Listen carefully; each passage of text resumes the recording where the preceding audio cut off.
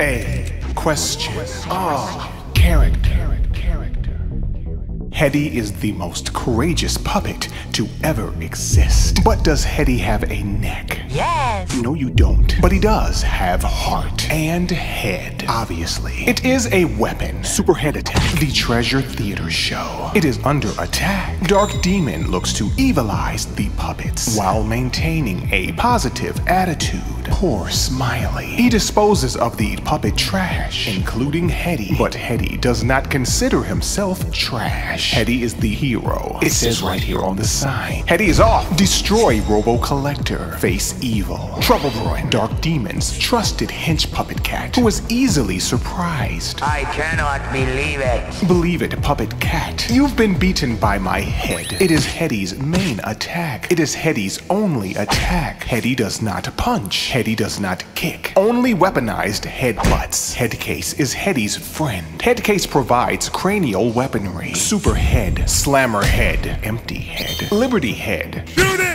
Pig head, sleepy head, Lotsa head, pinhead. Headdy is tiny. He dodges spike, vacuum head. Suck those points. Super. Oh, I already said that one. Ticker head. Time freezes. Death continues. Bomb head. Head trip. Y head case. And Headdy's normal head. It's good too. Headdy does not fight for money. He detests capitalism. He'll hit you with his head. Headdy is a tactical genius, incorporating the laws of physics to proceed. Genius. He uses the bizarre treasure theater show to his advantage, twisting set pieces, exposing lazy gaffers. As well, Headdy flies. They tell him to don't fly, but Headdy is going to yes fly, morphing his head into a bird that shoots out little birds, or a biplane, or a lasered shuttle. Battleship number six has little chance against Headdy's onslaught of tiny birds. Headdy looks of a bird, a decapitated bird with floating head power. Headdy's head is made of hard plastic. Atop it is a feather that is not a wing,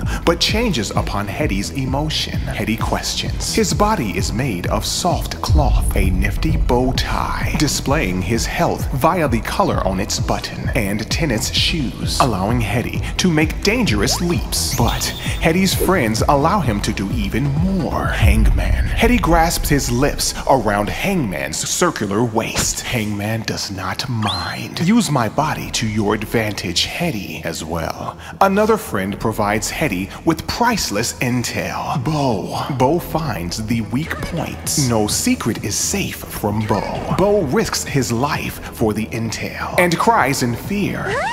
Or cries because Headdy hit him. Speaking of hit, Headdy possesses efficient puppet life force, gauged by a polychromatic spotlight. Upon reaching red, Headdy's head explodes, his body flailing until reaching the underworld. Lastly, Headdy is enamored from the mysterious but incredibly beautiful Heather. Using the powers of floating hands, Heather assists by obtaining the Keymaster's keys, but is sometimes captured. Headdy will save her. Headdy will save all. Do not cry, Miss Daisy. Do not worriedly sway, Mr. Porter. Headdy is here. Power. Excellent. Headdy is only as powerful as what's in his head. Literally. So luckily, he can process thought and bash at the same time. Defense. Excellent. Headdy has a heart of steel, but a body of cloth. However, it is tough cloth as well. Any injury can be healed through delicious jelly bean. The highest form of nutrition for a puppet. Agility. Excellent. Headdy is not bound by strings, thank God. Therefore, he is able to jump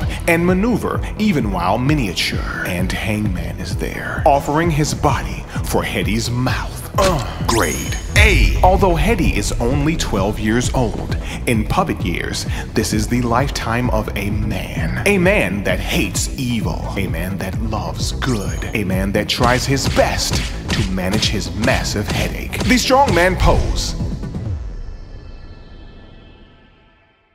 Next episode. A force is a force, of course, of course. Quest with me. Learn with us. Enrich your mind. Empower your inquiry like our material. Subscribe to our page. Put character into question. Return every Monday for more. A question. Oh, character.